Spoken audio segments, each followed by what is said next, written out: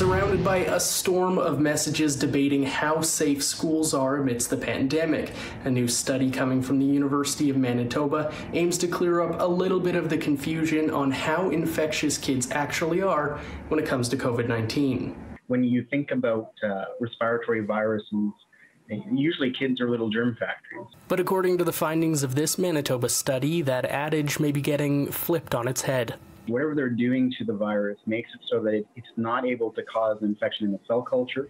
And based on that, it, it, it implies that they might not be able to spread it as easily as an adult could in the same setting. So, what was the study? Well, it was to take nasal swabs of the virus from infected kids and adults from the same region in Manitoba, place the virus onto cells that it can infect, and wait a week to compare how infectious each demographic's virus was. The main finding was that children and the samples that we put onto cell culture uh, were only growing in about under 50% of those compared to adults. And in addition, the amount of virus that the samples was producing when it was positive was significantly less.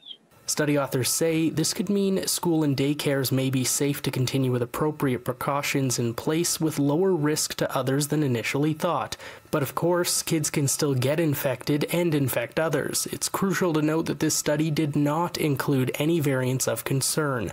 Dr. Bullard says there's more research needed on the final form of the virus in children versus adults. When you see data like this, it, makes you wonder what uh, what biologically is different. In Winnipeg, Mike Albanese, City News.